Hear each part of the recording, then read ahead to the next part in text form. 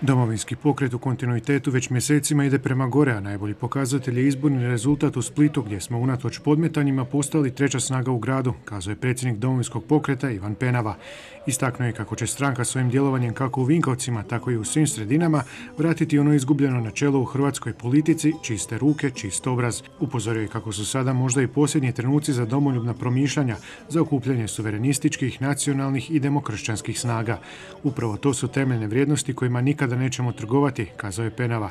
Nemoguća je situacija da domovinski pokret promišlja o nekakvim postulatima svjetonazorskih ili ideoloških moratorija, jer to znači da gasimo sebe i svoje vrijednosti na neko vrijeme, a to je za nas neprihvatljivo, zaključuje je. Drugi postulat i primjer nemoguća situacija da sada već bivša demokršćanska stranka, što je nažalost e, Plenković učinio od e, HDZ-a,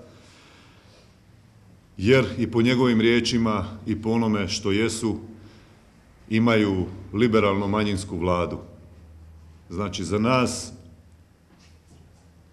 u obzir dolaze jedino savezi sa svjetonazorski bliskim strankama. Komentirao je i program HDZ u kojem se sve spolne zajednice izjednačavaju s brakom muškarca i žene, poštivajući pravo pojedinca da se opredjeli po bilo kojem pitanju kako god želi, napraviti iskorak u ovom smjeru je odmak od bilo čega što ima veze s demokršćanstvom, kulturom, tradicijom i duhom hrvatskog naroda, kazao je Penava. Apsolutno na obrani tih vrijednosti nas ne zanimaju brojke, koliko nas je i koliko je postotaka. Jer te vrijednosti su vrijednosti koje su iznad nas, te vrijednosti su vrijednosti koje smo mi u domovinskom pokretu pozvani braniti i to je ono zbog čega smo i okupljeni danas, a ja duboko u sebi vjerujem da je to onoga, ono zbog čega domovinski pokret raste i zbog čega će rasti u budućnosti. Predsjednik Domovinskog pokreta za Vukovarsko-Srijemsku županiju Josip Dabro pak podsjetio je na aferu oko prometne nesreće u kojoj je bio uključen župan Vukovarsko-Srijemski Damir Dekanić.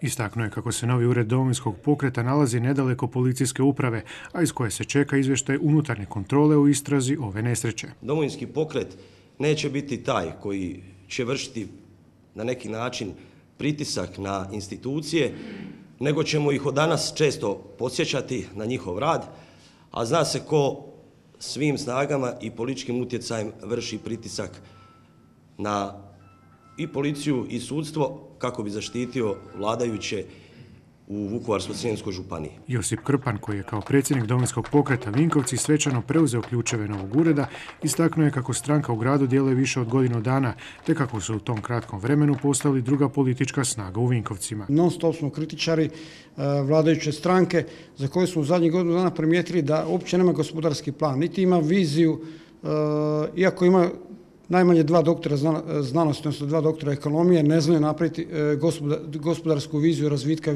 grada Vinkovaca. Tu ćemo nastaviti upućivati kritike kao i na neorganiziranost stradova koji se odvijaju u Vinkovcima, gdje se ulice grade po dvije godine, a za to vrijeme ljudima u kuću ulaze prašina i oštećuju se automobili. Inzistirat ćemo da se radovi obavljaju kvalitetno i da organizacija bude na razini, zaključuje predsjednik domovinskog pokreta Vinkovci.